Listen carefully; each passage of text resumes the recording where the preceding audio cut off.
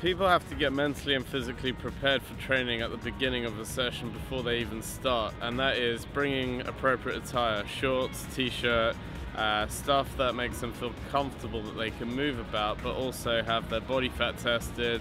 Uh, obvious things like bringing fluid with you, coconut water, water, and anything that makes you just feel comfortable, let's say a towel or something else, to do your workout. And also, the other thing is to be mentally there, that you are ready to make changes, to be coachable to the coach, myself, or one of my trainers at AWPTS.